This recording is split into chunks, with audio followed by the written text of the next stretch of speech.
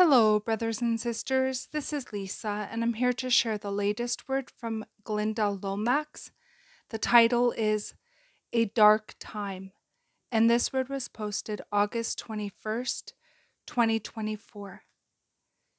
I was up in the wee hours praying for a word for us for Wednesday when I saw two leaders at the head of America. Not one, but two. I was not sure what it meant. Lord, what are you showing me? What does it mean, two leaders? I saw one of them was Kamala Harris.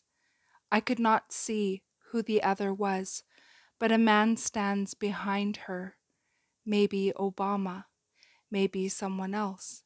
She is still smiling, feeling secure in her position, but I see she is not secure. I see she is a figurehead. She is holding the position because the person who wields the real power behind her would not be so easily accepted. My children, a dark time approaches for America. America, a nation that once honored me as her God, but now honors only immorality and fleshly pleasure. America has chosen her sin over serving me, and as with anyone who chooses sin over me, I have given her over to what she chose. Now her sin will devour her and bring her destruction. Her leaders care more for sinful pleasure than they do for leading and protecting her people. Because of her sin and because she is a traitor to me in spite of all I have blessed her with, I have called forth America's enemies, and they will devour her. They will turn out the lights in America, and America will shine no longer.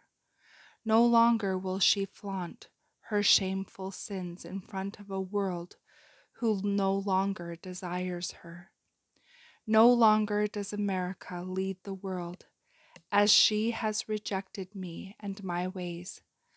Another nation now takes her place. And that is the end of this message. I pray you all have a beautiful day in the Lord. God bless each and every one of you, and I will see you either next video or in the air. Bye bye.